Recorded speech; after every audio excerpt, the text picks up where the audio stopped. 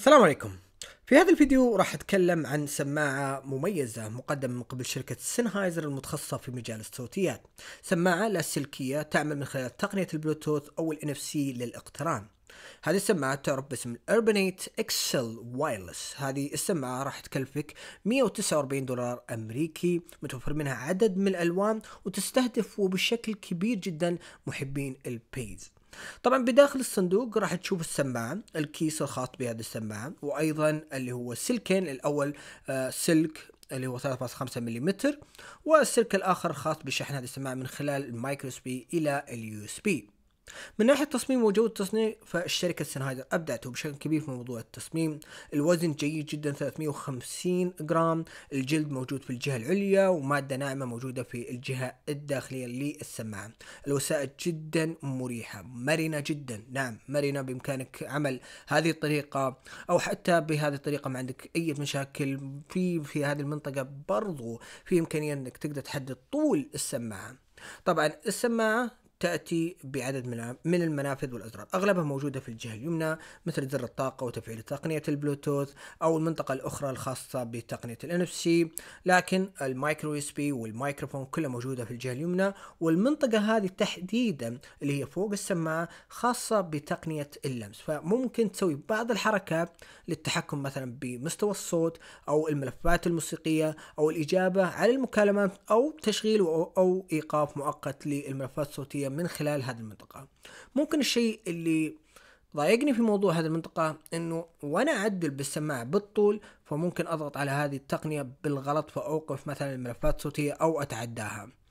آه السماعة تيجي بكيابل آه الكيبل الخاص بهذه السماعة ممكن تستغني عنه ما تستخدمه بما أنها تدعم تقنية البلوتوث أو الاقتران بشكل لاسلكي لكن عجبني شيء إنه الراس الخاص ب 3.5 ملم جاي بتصميم ذكي بحيث إنه أقدر أخليه أكثر مرونة من ناحية التحكم آه بالسلك. في أزرار خاصة بالتحكم مستوى الصوت وعدد من الأوامر.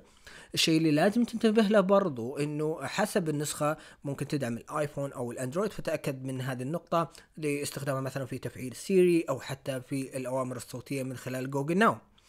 آه بالنسبة للاقتران فزي ما ذكرت لك عندك كذا وسيلة للاقتران ب أو من خلال هذه السماعة إما إنك تستخدم تقنية البلوتوث أو إنك تستخدم تقنية ال NFC ممكن تأخذ معك إلى 30 قدم ما عندك أي مشاكل من ناحية المسافة. آه برضو لاحظت إني آه قدرت أقترن مع هذه السماعة من خلال الحاسب المحمول آه من دون أي مشاكل. آه البطارية الشركة تقول إنه 25 ساعة فاستخدمناها يعني لمدة أربع أيام. فالبطارية أقدر أقول إنك قريبة جدا من هذا الرقم تقريبا ممكن أقول 23 ساعة وتحتاج ساعتين علشان تشحنها بشكل كامل. طيب نجي للشيء المهم جودة الصوت الخاص بهذه السماعة. أولا السماعة آه، تأتي أو تستهدف بشكل كبير الأشخاص اللي يحبون البيز. فبالتالي أقدر أقول لك ال bass الصادر من خلال هذه السماعة ممتاز. النوتات العالية كانت جدا ممتازة وأيضا النوتات المتوسطة كانت جيدة. جدا. أما النوتات المنخفضه فكنا نطمح إلى الجودة اللي كنا ننتظرها من شركة Sennheiser يعني لما تستخدم سماعات Sennheiser مثل Momentum هذه سماعة لاسلكية جدا ممتازة من ناحية مستوى الصوت ومن ناحية جودة الصوت. ف لكن أرجع أقول إنه هذه تستهدف بشكل كبير الأشخاص اللي يحبون ال bass. آه، بما إنها تدعم تقنية العزل الصوتي إلا إنه التصميم الخاص بالسماعه جدا آه، أو قادر على منع الصوت الخارجي من الوصول إليك بشكل جيد جدا.